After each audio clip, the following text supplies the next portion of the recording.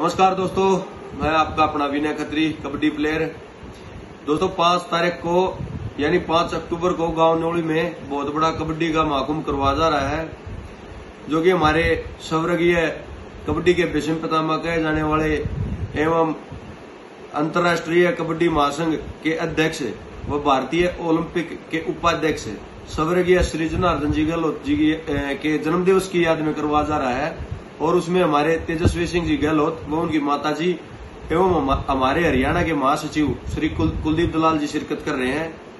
तो दोस्तों, इसमें कबड्डी में पहला इनाम इकसठ हज़ार व दूसरा इकतालीस हज़ार और बेस्ट राइडर कैचर को ग्यारह ग्यारह हज़ार।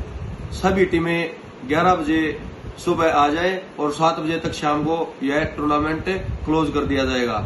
इसमें सबसे बड़ी बात है कि हमारे जो श्री जनार्दन जी गहलोत हैं, उनकी याद में टूर्नामेंट करवा जा रहा है और हम सबका फ़र्ज़ बनता है कि इसमें हम सभी मतलब एक डिसिप्लिन के तहत इस टूर्नामेंट को मतलब फिनिश करें।